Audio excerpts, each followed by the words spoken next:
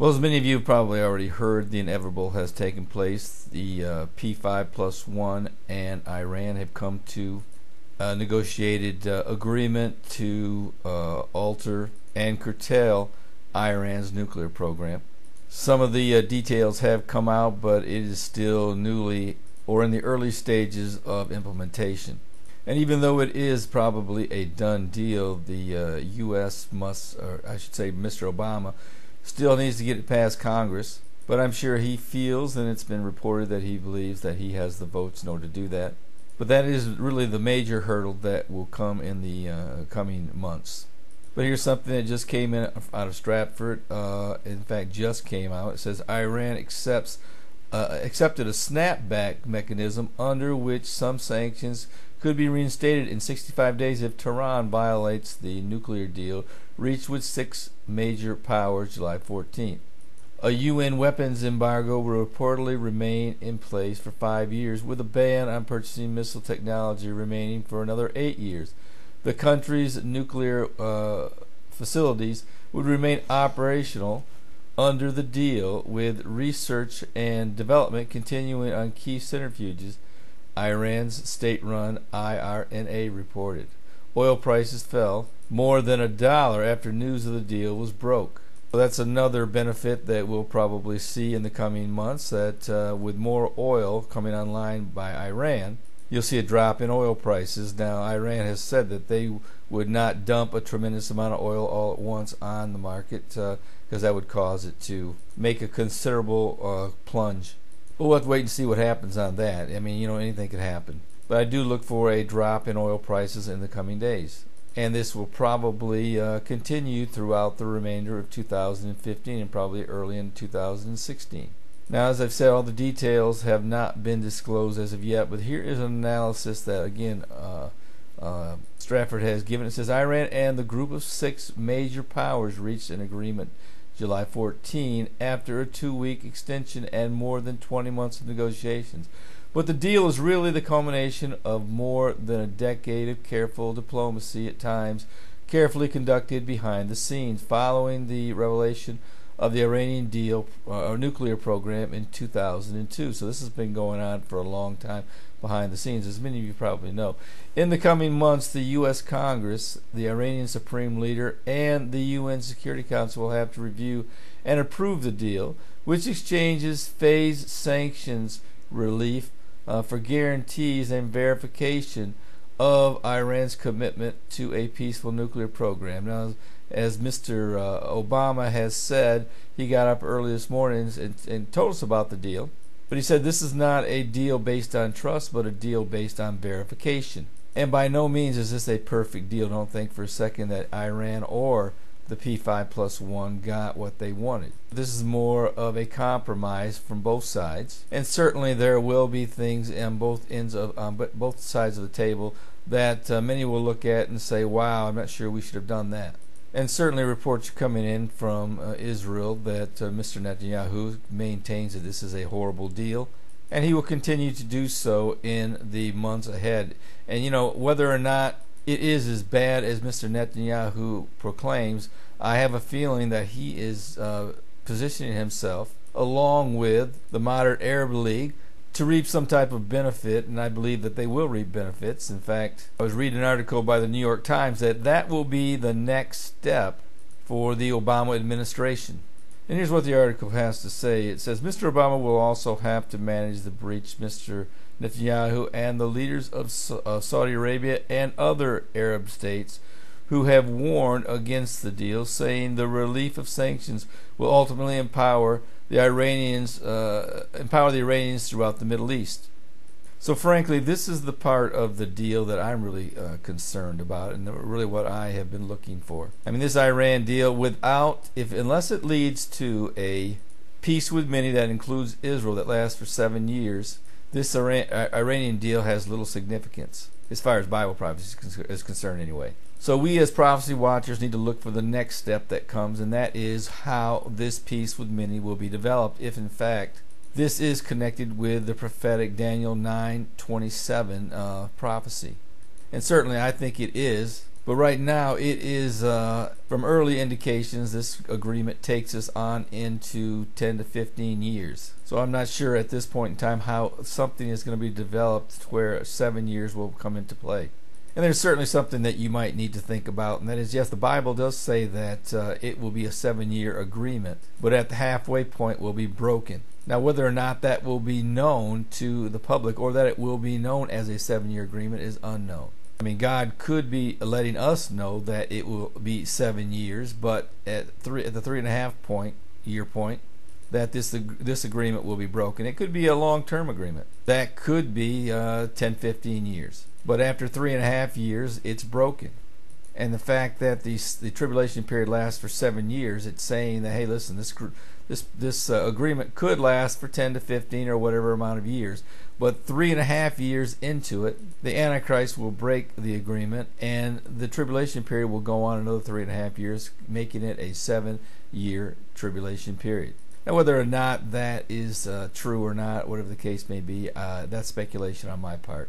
I am of the mind that it will be a seven year agreement that will be stated and of that seven seven years at the midway point it will be broken that has been the traditional way of thinking for many, many years, and I will not uh, try to convince anyone that it's going to be anything other than that. But that's just something that very well could be a possibility uh, as we move move forward. But as we know, the tribulation period begins with a peace with many agreement, in which the Antichrist will confirm uh, with many. But this agreement will have to include Israel. Right now, the many are already uh, in the uh, the picture. I mean, the representatives that are there. Of, course, we have the uh, P5 plus one. Uh, they represent many countries. But I believe the Arab world and Israel will have to be brought in. Of course, we know Israel definitely has to be brought into this type of agreement. But when this agreement does come to pass, it will uh, that will spark the beginning of the tribulation period. But there's another indicator that will also come about. In fact, there's actually two. When you see these two indications or indicators along with a peace with many, you know you're in the tribulation period. And the other two are number one, there will be two witnesses who will start preaching on the streets of Jerusalem, and they will not be able to be killed. They will perform miraculous miracles and the whole world will know of their existence. Because Revelation chapter 11 speaks of their death. It says the whole world uh, saw their death and celebrated by giving gifts like it was Christmas. Well, that's number two. Number three, there must be a temple rebuilt. So the temple in Jerusalem must be rebuilt. In fact, the Antichrist cannot declare himself to be God until this temple is created you know, I get a lot of messages and a lot of comments from those who do not believe that a pre tribulation rapture will take place, that Christians will go through the tribulation period. And my, say, and my same uh, comment to them is always if I do make a comment, let me know when the tribulation period starts because these three things have to be prominent. And right now, no temple has been built. There are no witnesses uh, that are made, they're doing miraculous miracles in streets of Jerusalem. They're not that that hasn't taken place yet. Nor has a seven-year peace treaty or confirmation of a treaty been brokered, uh, in which Israel and many are included. So you can you know you can keep you can keep uh, talking about the Christians will go through the tribulation period, but the tribulation period has to start first. So you let me know when that happens. And, you know the one thing that these people uh, continue to forget and I and I talk about this every single video, is that I have a tribulation period survival guide. The peop, you people who listen to my reports, if you have my tribulation period survival guide, and you can get it, it's red, it's red, uh, readily available. It's free. In fact, all you have to do is download it, or you can buy it. You know, there's I think it costs seven, eight dollars uh, on my website, and that gives you a paperback version. But what I'm trying to say is that you have the ability to have a tribulation period survival guide in your hands. And this going alongside of the Bible tells you how to survive the tribulation period. So we pre-tribulation rapture believers are actually more prepared than those who believe that they're going to go through the tribulation period. I have never, you know, uh, uh, it, it shocks me of all the comments that I receive, but yet there is no tribulation period survival guide that is in great detail of how to survive the tribulation period by those who believe we're going through the tribulation period. It took a person such as myself who believes in a pre tribulation rapture to create a tribulation period survival guide. So that tells me right there they really don't believe what they're saying. Because if I truly believed that Christians were going through the tribulation period, I'd go out and create a tribulation period survival guide. And I'd make this book readily available to everybody I possibly could.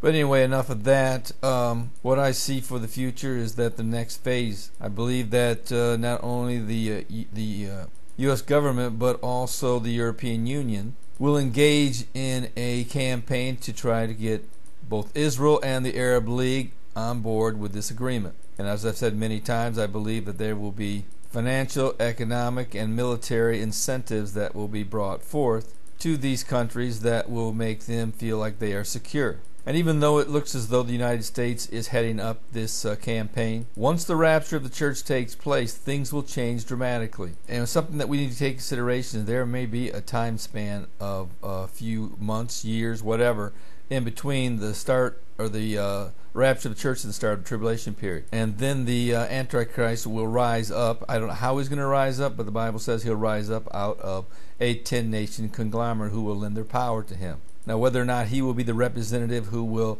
stand with the P5 and ultimately rise to the top is unknown. I don't know how that's going to work out. But it will work out once the rapture takes place. That's when it will develop. This world will go from a natural to a supernatural world and he will bring about a confirmation of a peace accord that's been going on for a while. Now, whether or not it will be part of this Iranian deal or it will stand alone on its own uh, with the modern Arab world and the Palestinians that will create a state. But I have to believe that at some point in time that all of this will have to come under an umbrella agreement for the Middle East and in doing so, it will have to convince the world that uh, because of this umbrella deal, that the world as a whole will be a safer place. So we'll have to keep an eye on and see how this develops and where it goes. And if you don't know the Lord, today is the day of salvation. You know, this world is not going to continue as it is for much longer. But before that, you could die. You know, the Bible says there's a point on a man wants to die, then the judgment. Once you die, once you leave this world, you're going to stand before God and when you do, the only thing that's going to matter is if you accept the Lord as Savior. Have you made that commitment today? If not, you stand a, you stand a, a, uh, uh, a chance of dying. And by dying, you will stand before God. So I would encourage you today to make that decision to accept Jesus as Savior. You know, He died for you. He died to pay your sin penalty. He rose again. Now it's up to you. Your sins are already paid for, but you have to accept that free gift. Today, I want you to pray and ask the Lord to forgive you of your sins, to accept that free gift, believe that He died on the cross and that He rose again, and that He is your Savior. And then go out and confess it amongst men or women. That, in a nutshell, is the gospel of Jesus Christ. So I hope that you've made that decision. Well, this is Terry Malone with the Calvary Prophecy Report.